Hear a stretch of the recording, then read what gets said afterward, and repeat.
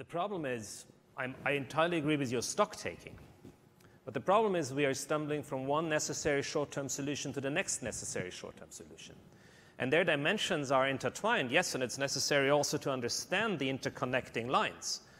But you need a short-term solution for 1.3 million, probably 1.3 million refugees, highly uneducated, by the way, in Germany this year.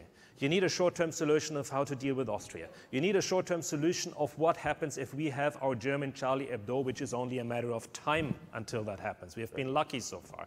You'll need a short-term solution for energy prices that might be affected of it, for, of it. You need a short-term solution for this and this and this and that. And at the same time, you have a construct of the European Union which is constantly somehow involved or somehow affected by here an election, there an election, there an election, there an election. So you are dealing with a, with a, with a patient on the operating table where you have 28 very distinctly talented doctors standing around this operating table. Right. And once in a while, someone is stumbling over the plug of the heart lung machine. Right. And then the patient groans, and then they would put the plug back into the wall, and everyone would be happy the patient's still alive.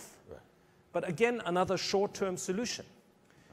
And this conflicts with what I've said before that you don't see people right now in Europe on top of the institutions, on top in, on the national level, who would also be willing to not be re-elected for a certain step forward. And this is that's something which is also another breeding ground for growing nationalism. Yeah. In countries where you didn't dream of growing nationalism so far, look at the latest Polish elections. Look at right. those are things which are not, yeah. which are not leading to a stronger Europe.